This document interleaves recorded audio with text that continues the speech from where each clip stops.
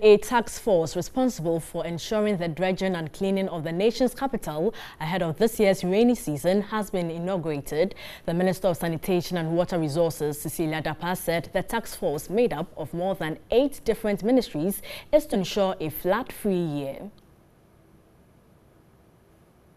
Increased demand for land for dumping refuse and other purposes has compelled many to resort to dumping in waterways and drainage systems. The phenomenon is common especially in capital cities. These activities have resulted in the choking of water bodies leading to flooding. The lack of enforcement of bylaws on sanitation is said to have contributed to the mess. Inaugurating the Special Task Force on Environmental Sanitation, Sector Minister Cecilia Abena Dapaah warned that indiscriminate dumping of refuse in drains and water bodies must stop immediately. We all know what sanitation does for us. It gives us a lot of dignity. And without water, you can't have effective sanitation. That is why our ministry is leading in all this to make sure the WASH sector is catered for. What has been a challenge, and I must admit, is the littering. Even the bins we've put out, people are bastardizing them, misusing them, and uh, ripping the tops off, etc.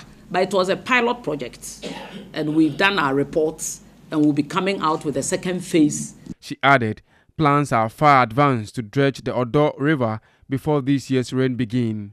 We have uh, the dredging of the Odaw River by Works and Housing. They, they are currently doing it by dredge masters, but they are going to enhance the dredging through the GARID project. We just signed uh, the Minister for Finance just signed the uh, loan agreement with the World Bank just last Friday. So everything is set. The key ministry for the composition of the task force include Ministry of Works and Housing, Ministry of Environment, Science, Technology and Innovation, Ministry of Local Government and Rural Development, Ministry of Rules, Ministry of Tourism, Culture and Creative Arts, and Ministry of Information, among others. Other objectives of the task force include assessing the current solid waste management challenges and propose solutions to monitor and provide effective sanitation service delivery.